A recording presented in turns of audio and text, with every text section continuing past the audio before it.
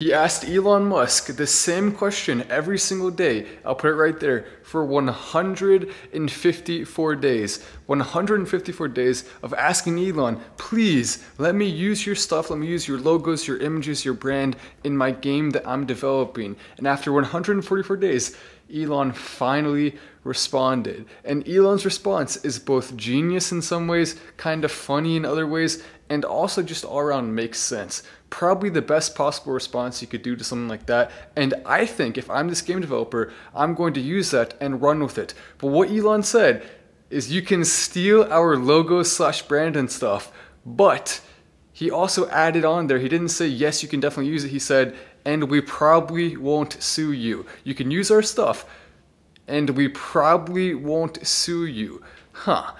When you look at that, you think, okay, well, should I use it? Can I use it? Is it worth it to spend that much time developing something? And in my opinion, absolutely. At this point, Elon has said publicly, we probably won't sue you.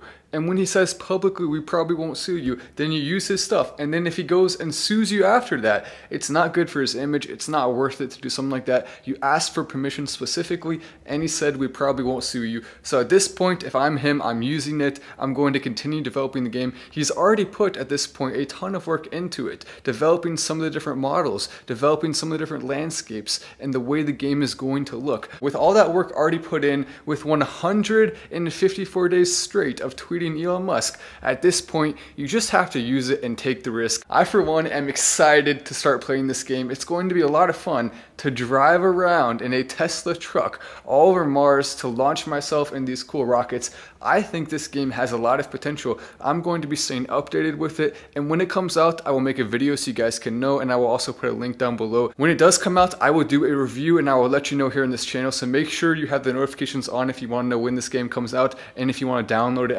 and perhaps play with me. Maybe it will even be a multiplayer game, in which case I would love to play with some of you guys. I will see you in the next video.